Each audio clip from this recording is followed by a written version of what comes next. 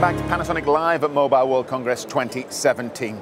The theme of this year's show is Connected Airports for Panasonic, and part of that Connected Airport is the intelligent warehouse solution that we've got on stand. With me to talk about it is Gary Byrne. Gary, talk me through the, the, the technology we've got here, please.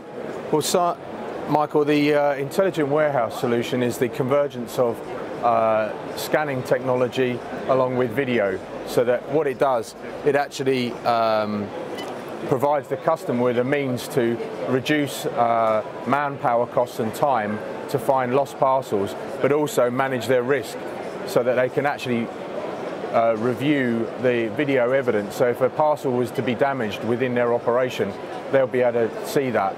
But what it does do is that if it's not damaged within their operation, they can then pass on that risk to the, uh, the freight company that's delivering uh, the last mile.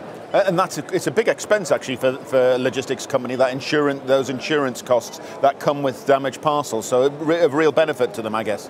It is. It's very much a, um, reducing the time to find parcels or, or manage that risk. Uh, and in terms of uh, reducing that time, we're talking about what difference that will make to them. Oh, it's taking it from uh, hours down to minutes. Okay, and we are combining that with Parcel Picking Director as well, uh, and that's a new new technology that we're showing off at Mobile World Congress for the first time. It is, yes. I mean, what it's doing, it's using projection technology linked to scanning uh, so that what you can do is you can actually reduce uh, that picking time um, because logistics is all about time and efficiency.